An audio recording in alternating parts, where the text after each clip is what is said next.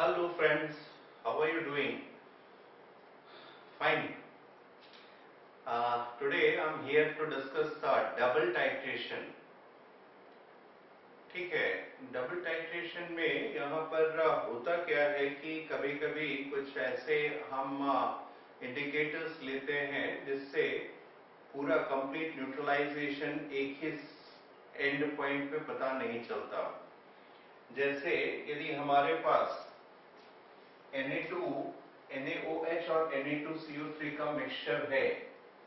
तो सपोज़ हमारे पास जो है NaOH और Na2CO3 का मिक्सचर है और हम फिनोफ्थैलिन इंडिकेटर हम यूज़ कर रहे हैं।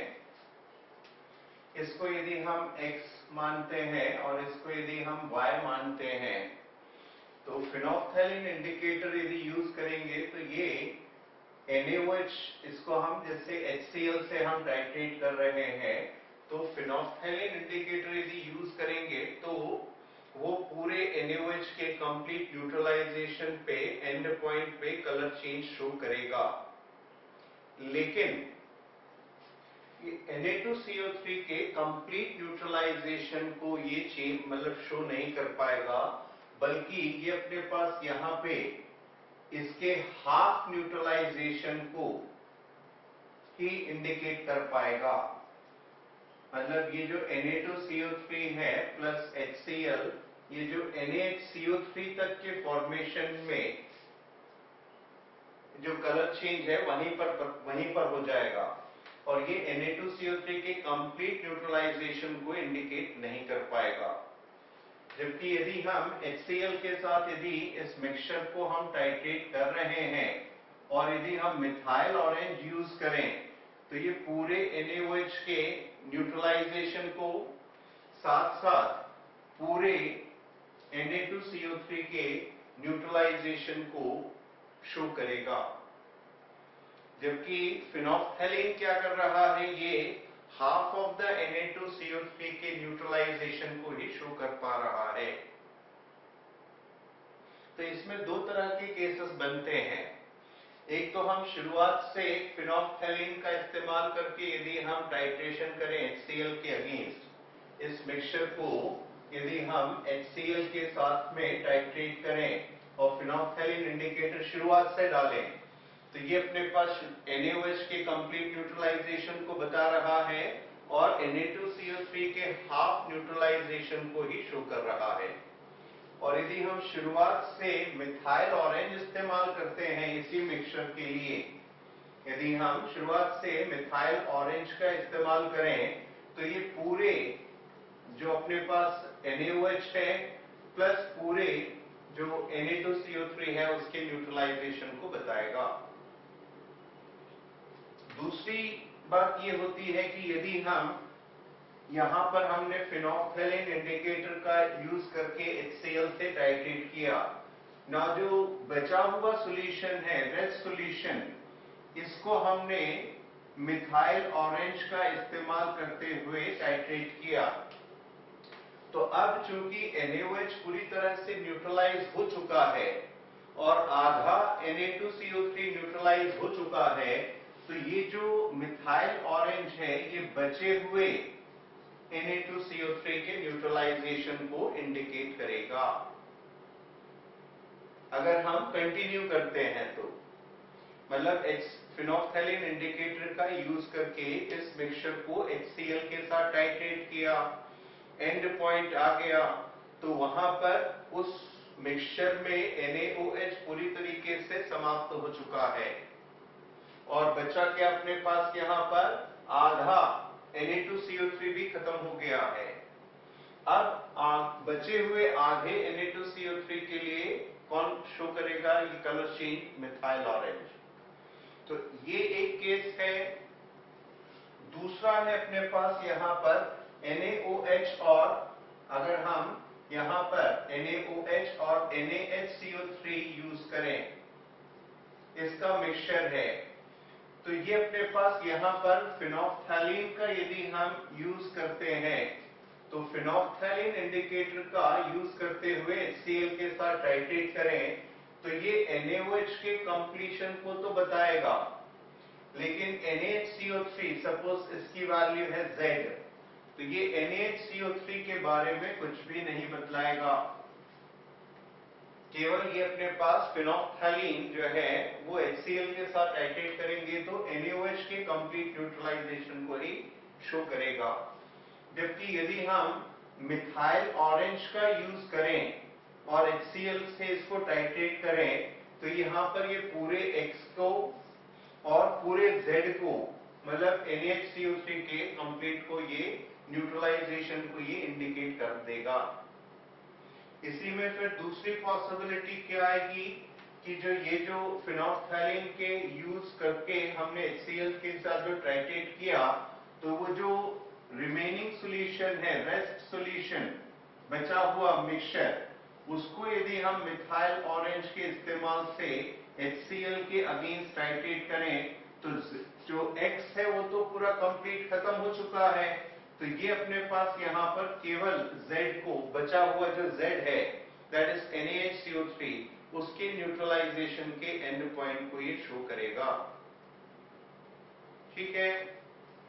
और तीसरा एक कॉम्बिनेशन हमारे पास आता है, यदि हम Na2CO3 यदि हम Na2CO3 इसको यदि हम X मान लें और प्लस NaHCO3 इसको हम Z मान लें, या इसको Y ले लें शुरुआत में जो लिया था उसके हिसाब से। और यदि हम इस मिक्सचर को HCl के साथ टाइट्रेट करें यूजिंग फिनोफ्थैलिन एज इंडिकेटर तो ये अपने पास यहाँ पे y by 2 के कंप्लीशन को बताएगा मतलब Na2CO3 के आधे न्यूट्रलाइजेशन को। और ये Z के बारे में कुछ भी नहीं बतला पाएगा। जबकि यदि हम यहाँ पर मिथाइल ऑरेंज का यूज़ करें, और इसको हम HCl के अगेंस्ट टाइट्रेट करें तो ये पूरे Y के कंप्लीशन को न्यूट्रलाइजेशन को, और प्लस Z इसके कंप्लीट न्यूट्रलाइजेशन को ये शो करेगा। और इसमें भी दूसरा पॉसिबिलिटी आता है फिनोफ्थैलिन के साथ में।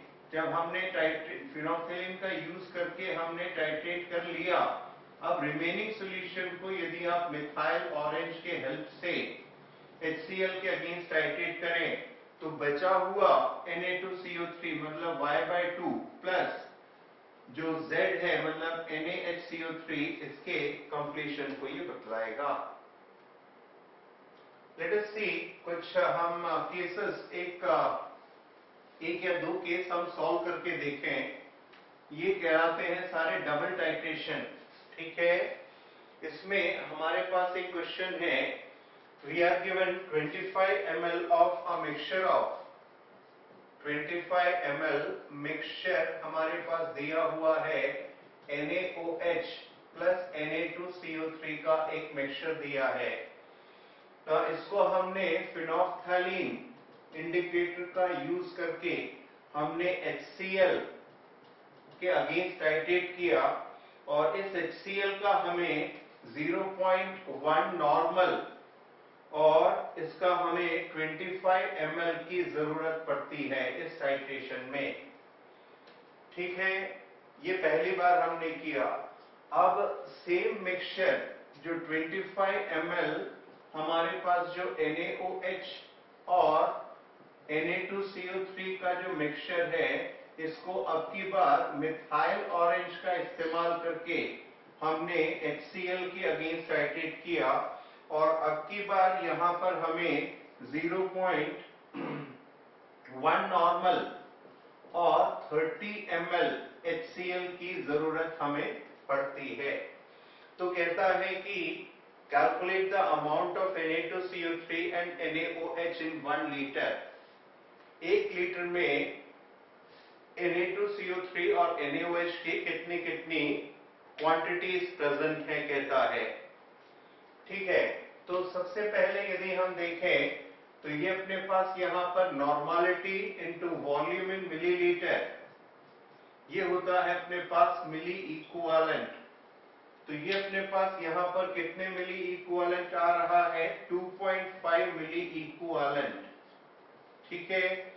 ये जो 2.5 मिली इक्विवेलेंट है 2.5 मिली इक्विवेलेंट ये किस किस को इंडिकेट कर रहा है? कंप्लीट NaOH के न्यूट्रलाइजेशन को प्लस हाफ़ ऑफ़ Na2CO3 के न्यूट्रलाइजेशन को। जबकि यहाँ पर HCl के कितने मिली इक्विवेलेंट की हमें आवश्यक ज़रूरत पड़ रही है? तीन मिली इक्विवेलेंट की।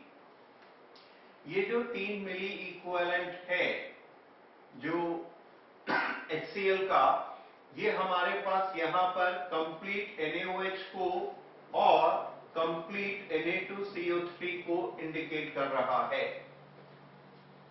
तो इस केस में हमें 0.5 मिली इक्विवेलेंट वहाँ पर हमें 3 मिली इक्विवेलेंट की ज़रूरत पड़ी। जब हमने मिथाइल ऑरेंज का इस्तेमाल किया। और पहली बार हमें 2.5 मिली इक्विवेलेंट HCl की ज़रूरत पड़ी, जबकि हमने फिनोफ्थैलिन इंडिकेटर का इस्तेमाल किया। तो ये जो 0.5 मिली इक्विवेलेंट है, ये जो 0.5 मिली इक्विवेलेंट है, ये इंडिकेट कर रहा है हाफ़ ऑफ़ बचे हुए Na2CO3 को, जो कि फिनोफ्थैलिन के द्वारा न्यूट्रलाइज हो रहा है। इसने पूरे NaOH के कंप्लीशन को इसको ये पूरा न्यूट्रलाइज हो गया और आधे Na2CO3 के न्यूट्रलाइजेशन को ही इंडिकेट किया था जब हमने फिनोफ्थैलिन इंडिकेटर का यूज़ किया था। तो यहाँ पर ये जो 2.5 मिली इक्विवेलेंट है, ये जो 2.5 मिली इक्विवेलेंट है, ये पूरा Na2CO3 पूरा NaOH plus half of Na2CO3 को इंडिकेट कर रहा है। और ये जो 30 ml 0.1 30 into 0.1 3 मिली इक्विवेलेंट ये 3 मिली इक्विवेलेंट पूरे NaOH को और पूरे Na2CO3 को के कंप्लीट न्यूट्रलाइजेशन को HCl के द्वारा होने वाले को इंडिकेट कर रहा है। तो यहाँ पे 3 मिली इक्विवेलेंट और यहाँ 2.5 मिली इक्विवेलेंट तो जो एक्स्ट्रा जो 0.5 मिली इक्विवेलेंट है, वो किसके लिए था? बचे हुए Na2CO3 के न्यूट्रलाइजेशन के लिए था। तो NaOH मतलब Na2CO3 के टोटल मिली इक्विवेलेंट्स की यदि हम बात करें total milli equivalents of Na2CO3 ये हो जाएगा 0.5 into 2 that is equal to 1 milliequivalent मतलब इस वन ये जो तीन मिली इक्विवेलेंट है, इसमें से वन मिली इक्विवेलेंट किसके लिए है? Na2CO3 के लिए. तो Na2CO3 के मिली इक्विवेलेंट अब कितने आ गए? वन तो बचा हुआ जो मिली इक्वलेंट है, वो NaOH का हो जाएगा, दो मिली इक्विवेलेंट अब चीज़ें बड़ी आसान हो गई। अब यहाँ पर अपने पास जो है, आप देखिए।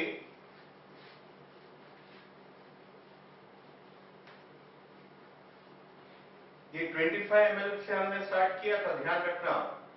तो ये अपने पास यहाँ पर, यदि Na2CO3 की बात करें तो इसके मिली इक्विवेलेंट्स बराबर W upon E into thousand ये होता है।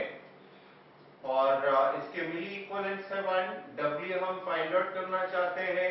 Na2CO3 का इक्विवेलेंट मास है 53 और ये आ गया अपने पास यहाँ पे 1000 तो 53 by 1000 that is equal to 0.053 grams ये 25 ml में है।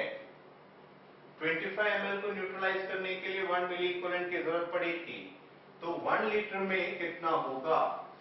ये अपने पास यहाँ पर आ जाएगा। अगर 25 ml में हमारे पास जो है 0.053 ग्राम Na2CO3 प्रेजेंट था तो फिर 1000 ml में कितना होगा? तो this is 0.053 into 1000 divided by 25 तो ये अपने पास यहाँ पर इसके लिए आप सॉल्व कर लोगे तो ये इसका आंसर आ जाएगा। उसी तरह से जो NaOH है NaOH के कितने मिली इक्विवेलेंट्स हैं? दो। कितने में? 25 ml में 25 ml में। तो NaOH के लिए हमारे पास जो कैलकुलेशन आएगा, वो है अपने पास इसके मिली इक्विवेलेंट इक्वलेंट बराबर W upon E into thousand और ये आगे अपने पास दो milliequivalent that is equal to W. Equivalent mass है इसका 40 और ये आगे अपने पास 1000 मतलब W बराबर आगे यहाँ पे 80 40 into two eighty upon thousand ये अपने पास आ जाएगा 8 into ten to power minus two या 0.08 ग्राम्स फिर वही 25 ml में 0.08 ग्राम NaOH है तो फिर 1000 ml में कितना होगा? 1000 into zero point zero eight upon twenty तो इनके आंसर्स है, ये अपने पास जो Na2CO3 है ये करीब करीब अपने पास 2.12 ग्राम्स के आसपास और NaOH 3.2 ग्राम्स के आसपास। Look at one more case एक और केस हम लेकर के समझते हैं। लेट अस सी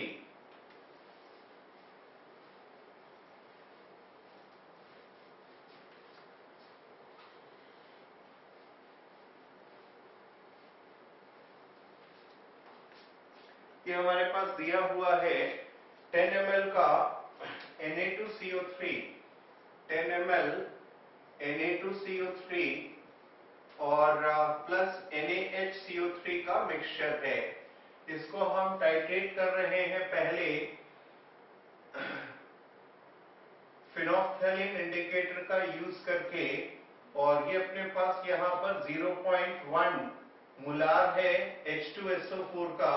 और ये अपने पास है यहाँ पे 2.5 ml तो पहले ही बात की H2SO4 है तो ये अपने पास कितना हो जाएगा? 0.2 नॉर्मल नॉर्मलिटी बराबर मोलारिटी इंटू बैलेंस फैक्टर तो ये आ जाएगा अपने पास यहाँ पे 25 इंटू पॉइंट टू मतलब ये मतलब 2.5 या 25 into two into ten to power minus two minus one minus two ये आ जाएगा अपने पास 50 या फिर 0.5 50 into ten to power minus two या 0.5 मिली इक्वालेंस मतलब ये जब हम फिनोक्थलिन का यूज़ कर रहे हैं तो ये किस किस को बता रहा है?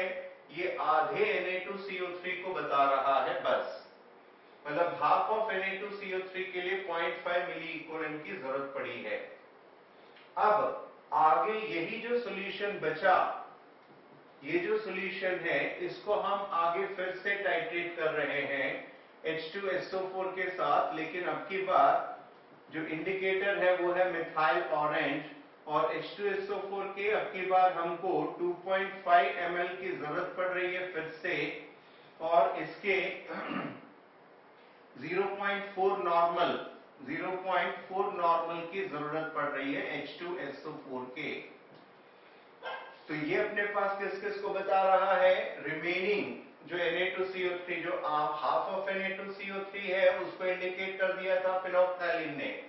अब बचा हुआ NaH जो Na2CO3 है और NaHCO3 का कंप्लीट न्यूट्रलाइजेशन को ये इंडिकेट कर रहा है और इसकी वैल्यू अपने पास यहाँ पर कितनी हो जाएगी?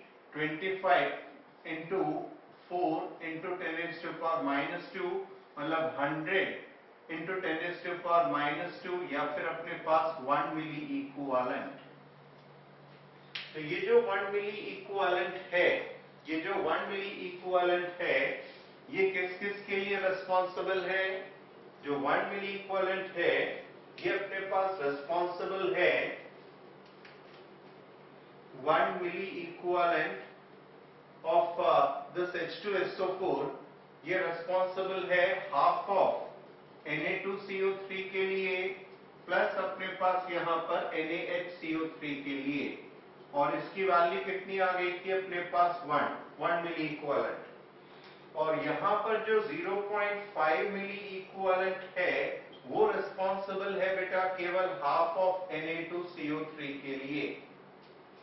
0.5 ये जो अपने पास मिली इक्वलेंट है, वो किसके लिए है अपने पास? हाफ़ ऑफ़ Na2CO3 के लिए। ठीक है? तो हाफ़ ऑफ़ Na2CO3 के लिए अपने पास यहाँ पर जो है पॉइंट फाइव है ना? पॉइंट टू ये आ गया था अपने पास यहाँ पे। Zero point five milli equivalent ये रिस्पॉन्सिबल है अपने पास हाफ़ ऑफ़ Na2CO3 के लिए और इसका अपने पास जो है यहाँ पे आ रहा है। This is point five milli equivalent half of Na2CO3 so one milli equivalent क्या आ जाएगा अपने पास यहाँ पर Na2CO3 के लिए? वन मिली इक्वलेंट किसके लिए आ जाएगा अपने पास यहाँ पे? Na2CO3 के लिए, क्योंकि इसका दो गुना, ठीक है? इसका दो गुना होगा अपने पास यहाँ पे 0.5 का दो गुना हो जाएगा अपने पास यहाँ पे। Na2CO3 का इक्वलेंट तो Na2CO3 के टोटल अपने पास मिली इक्वलेंट्स कितने आ गए यहाँ पे? 1 मिली इक्वलेंट 0.5 और वहाँ पर कितना है? 0.5 दैट इज़ इक्वल टू 1 तो बचा हुआ यहाँ टोटल कितना लग रहा था अपने पास यहाँ पे? 1 इसमें से हाफ़ जो है 0.5 मिली इक्वलेंट कहाँ पर कंज्यूम हो रहा है? Na2CO3 के लिए. और बचा हुआ 0.5 मिली इक्वलेंट कहाँ पर कंज्यूम हो रहा है? NaHCO3 के लिए। सो so, Na2CO3 के मिली इक्वलेंट्स निकल आए। तो that is equal to W upon E 53 into thousand so ये आ जाएगा अपने पास यहाँ पर। W की value that is equal to 0.053 grams लेकिन वो कितने में है? पर 10 ml में था।